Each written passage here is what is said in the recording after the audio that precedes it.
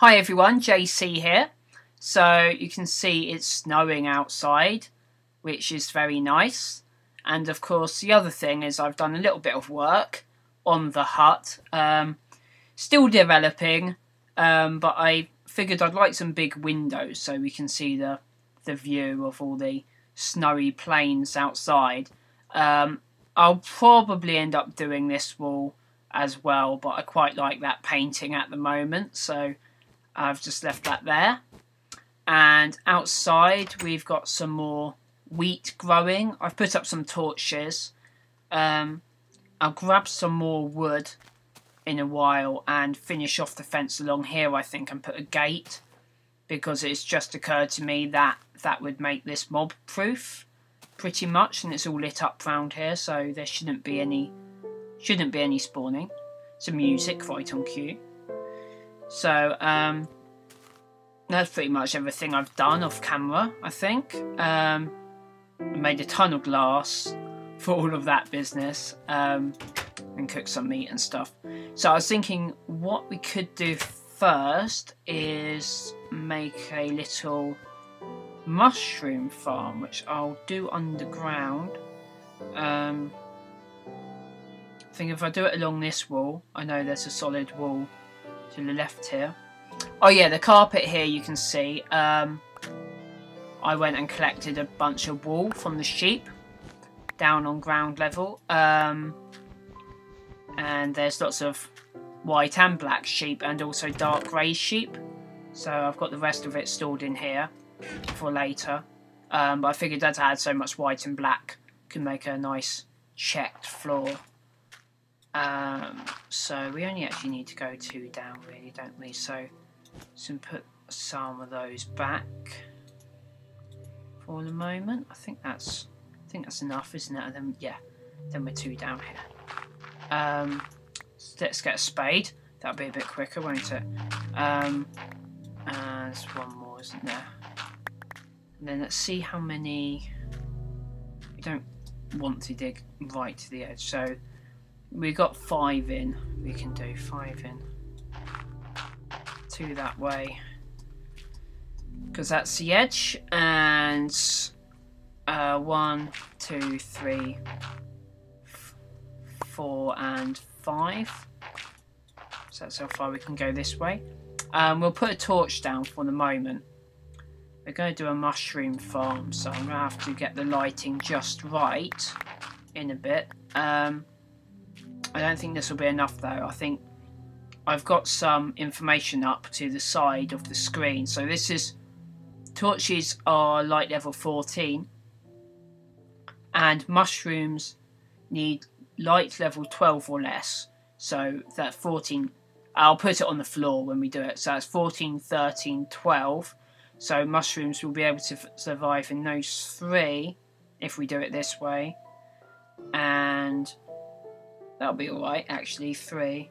And um, basically, mobs spawn at like light level seven or less. So basically, the idea with this is um, we want to make sure that there's lots of dim areas, not directly next to the torches for the mushrooms to spread out into, but that none of the squares become light level 7 or less because then there'll be a chance of monsters spawning actually in our mushroom farm which of course is in our base. So that's not that would not be good news. Um, so actually digging this way we might have quite a lot of space because if we want we could dig out under the garden outside which is on the same level as the carpet. Um, one, two, three, maybe four. But if we did it this way, we could keep on expanding. So actually, I think that'd be quite good actually if we do it. Mind you, however, um,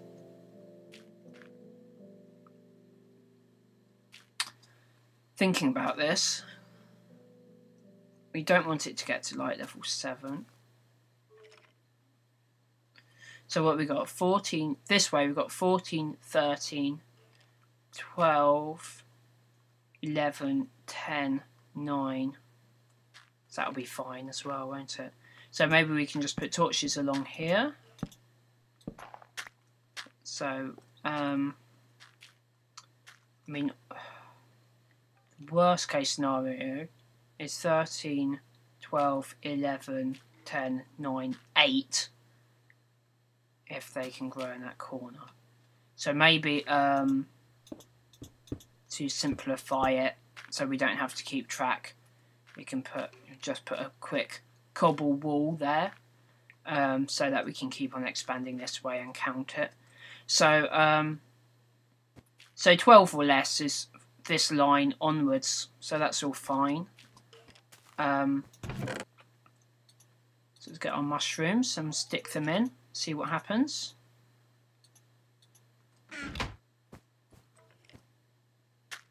So we have, just to double check, so that's 14, 13, 12, 11, 10, 9.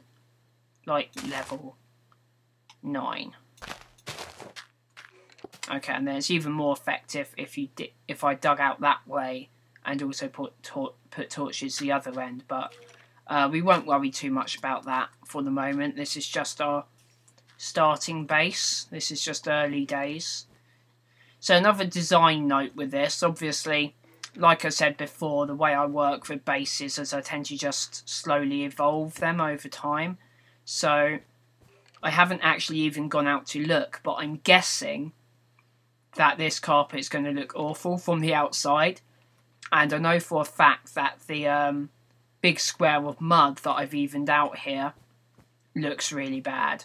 So I think as well as expanding upwards possibly, I'm also going to be expanding downwards and replacing that mud with stone walls and stuff, maybe smooth stone to make it look like the natural cliff again and just having windows within that smooth stone and stuff like um, the base had built been built into the cliff, which it kind of has been.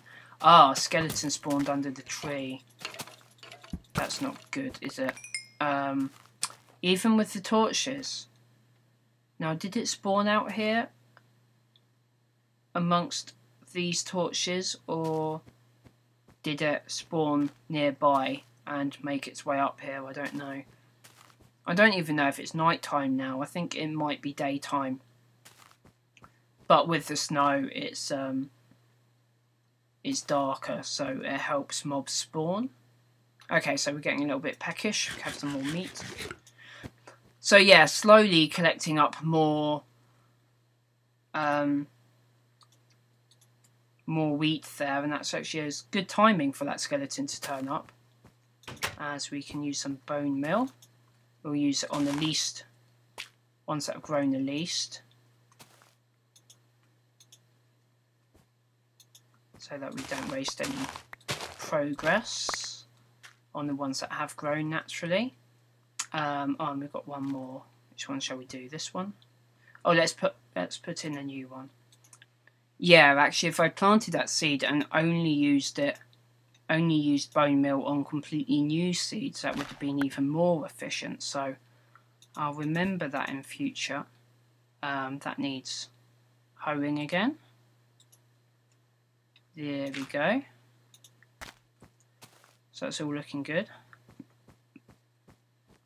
Um, so I think for safety reasons I'll have to get rid of this tree for the moment just in case that is what allowed the skeletons to spawn.